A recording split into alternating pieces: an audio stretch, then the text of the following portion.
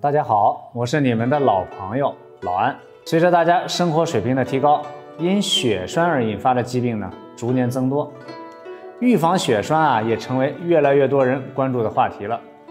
今天呢，老安给大家推荐一个食疗方，帮您呢降血脂、清血管。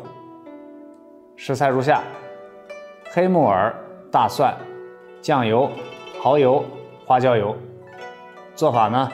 将黑木耳呢用凉水啊浸泡两个小时以后呢煮熟，和几瓣大蒜啊一起放入料理机中呢打成糊，然后呢加入酱油、蚝油还有花椒油呢调味即可。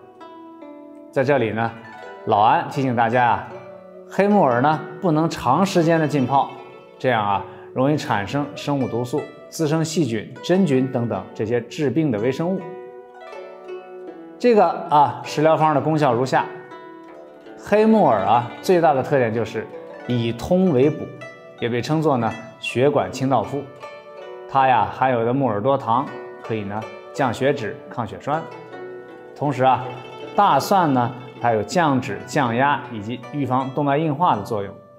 两者搭配呢可以防止血栓的形成，软化血管，预防啊心血管疾病的发生。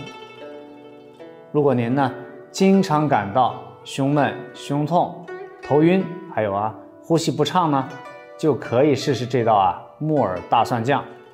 日常呢用来拌饭，不仅美味，还有啊显著的降血脂、清血管的作用。如果您觉得今天的内容对您有帮助，建议您啊分享。想第一时间观看老安更新的养生内容，请点击订阅按钮，同时呢请点一下右边的小铃铛。这就是您对老安最大的支持。科学养生，关注老安。明天同一时间，我们再见。